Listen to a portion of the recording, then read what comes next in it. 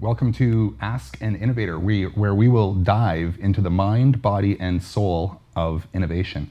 My name is Cole Snell. This is our very first interview. I'm really excited to be here. I am really excited and really blessed to have Sharla Brown, who, in my mind, is the ultimate innovator. Thanks, Cole. What a good Thanks wa- for having me on the show. Yeah, great. And I think you're going to take me through this as much as I'm going to take you through it. Well, I'm, uh, I'm uh, like I said, I'm a good first guest because I've sat on that side of the chair. So I just want to congratulate you on doing this show, and I was absolutely honored, honored when you called me to uh, to sit in this seat. You know, like an innovator maybe isn't always a title that how we pe- perceive ourselves, you know, but how other people view us. And I'm, I'm honored that you called me. Yeah, and I, I'm so honored. And when I first moved to Thunder Bay about four years ago, it was a really interesting experience because I started to look around, loving innovation. I started to look around at who was innovating really. This name kept on coming up: Sharla Brown, Sharla Brown, Sharla Brown. What's Sharla doing? So, having got to know you over the last four years or so, I've been so inspired. Question, first question: What does innovation mean to you? Well, I think innovation can mean very different things, but uh, to me, it's like people who see things differently, or maybe look at something and say, I can change that, or I can do something about that, or maybe there's a better way of doing things. So I think it's like a person that just sees things differently. Mm-hmm. Like an artist? Could be like an artist. Like I think an innovator can be in any field or area. You know, I'm very much an entrepreneur, but there's other things that I'm very passionate about. I'm a mm-hmm. humanitarian at heart, you know, so mm-hmm. I think you can be innovative in any area. So like for me, it's been a lot of my business that I've, I've been very innovative in, but mm-hmm. I think it can apply to any field. Yeah, amazing. So, um, how long have you been an innovator? How long have you been an entrepreneur? And I like to put the the idea of an innovator and an entrepreneur in the same box. How long have you been an entrepreneur? How long have you been an innovator? Well, exactly 20 years this month, Wow. I started my first business. So, um, yeah, I moved to Thunder Bay back when I was 17 to go to school. I, uh, I got a great job um, with the federal government when I was 18, and uh, I worked in a, in a great job, but it was the creative side of me that was, you know, not being stimulated, and that's when I started my first business when I was 21, and it gave me that ability to be, to be creative, not just creative, but to use my social side as well. Amazing. What business did you start at 21? So I actually got into doing direct sales. So it was kind of safe when you're young, you know, sign up for a company that kind of has a template for you to follow. Um, but I learned after the first year that even though I was their seventh highest salesperson in North America, they sent me on an all expensive trip to China. Like I knew I had something in terms of my skills and my abilities, but there was lots of things that I didn't do. They did all the marketing and chose things. And like for me, it was like, I want to do that kind of stuff. So uh, I didn't stick with it too long before I then started another business. And uh, so I've had a few businesses over the years, but it's as I've gotten older, I've became more innovative and, and maybe more of a risk taker and a little more brave to do things as right. well. Okay. So let's touch on risk. Risk is is I think what deters so many people from becoming an innovator or an entrepreneur. Are you a risk taker? Oh, 100% I'm a risk taker. And uh, I kind of had a, you know, what some people will think of as like an aha moment where I realized everything that I wanted was on the other side of fear. And it was just taking a look in the, in the mirror one morning and saying, you know, I'm not scared anymore. What's the worst that can happen?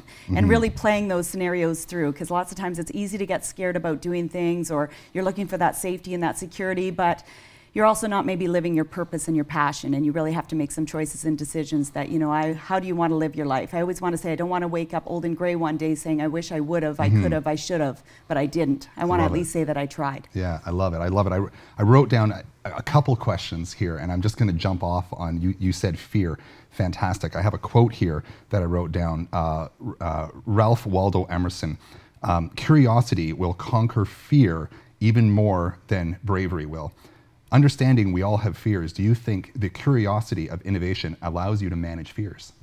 Absolutely, because it's the fact of um, weighing the pros and cons of things. You know, really looking at what you want to do, the life you want to live, and the things that you need to do to get there, or living a mediocre life, maybe. You know, settling for. You know, for me, I left a federal government job, which most people think I'm crazy to do that. You know, you have the pension, you have the benefits, you have the security. But I wake up every day now and I jump out of bed and I can't wait to start and I live my passion and purpose. But that takes, you know, getting over those fears and doing that. And I always say you can live in faith or you can live in fear. And that's something that's really got me through that is very having a strong faith and realizing that there's Yeah. a purpose for my life that's bigger than even I can see. faith. We're going to get into faith uh, after the first break, and I think we, you know we talk often as being an entrepreneur, the physical, the creation, uh, the curiosities that we talked about, but the metaphysical is also a big part of, of everybody's life. We're going to get into that after the break. Um, something that I'm really fascinated to ask you do you think you could ever go back and have a normal job? Do you think you could ever go back and work, say, uh, for somebody else? It would be a challenge. It Right. would be tough. I never want to say never because life changes and evolves and you never know what life's going to bring you or throw at you or all that kind of stuff. So, you know, it's not like it's below me to do something. I don't view it like that or I think that people can li- live their passion and their purpose through working for somebody else or like there's nothing that I'm downplaying about it. It's more of I love being an entrepreneur. Being an entrepreneur is something that's just in your blood and woven tightly and knit inside of you. And so I know that after 20 years, I couldn't imagine not having a business. So um, yeah, and I think you do it best when you can focus on doing what you do well, as opposed to I worked full time or I then dropped to part time, but then trying to manage a business as well. You know, you really spread out that focus, and I think you can do a better job when you you put your whole heart into it. Amazing. What advice do you have for people who are in a job they don't like, whether if it's working for somebody else or working for themselves, an unhappy job? What advice do you have for them to break out of that and empower themselves by doing what they want to do? Well, just exploring it. You know, it doesn't mean that you have to quit. I still stayed, had that job for 20 years, and I was still an entrepreneur as well. You know, most of that time. So it's not the fact that you have Double to. Double dipping. It's not all or nothing. That's right. Yeah. Absolutely. Like some for some people, it's having some fun money on the side, or Yeah. or being able to do something else that that does stimulate that creative side. There's safe ways of doing it. Um, you know. There's a point where I think that people should, you know, you got to kind of trust and leap and believe that the net's going to appear as well. You know, like it's it's it can be a challenge, but I've helped women, a lot of women. I mm-hmm. mentor a lot of women to do that. That you know they've slowly broken away from their other job and now do what they do full time and realize like it's not so scary afterwards that when you actually put your focus into everything that you're doing and that it's not just you it's the relationships you make it's the the service that you provide it's doing a good job that it just comes back to you tenfold and that it's bigger and better than you even imagined so sometimes it's having that person that helps hold your hand whether it's a coach or a mentor or things like that that help you get through those moments Yeah, absolutely amazing. Uh, after the break, and we're going to throw to the break. This will be my first time throwing to a break right now, so we'll see how I do. We're going to throw to the break, and then we're going to come back and we're going to talk about uh, women a little bit. We have two images that I chose, powerful female images uh, from a local artist, a local innovator here, and I, I really want to um, ask you when we come back about your. Um, Women that you look up to and women that have inspired you. Uh, so, Ask an Innovator will be right back. Don't go anywhere. Sharla Brown.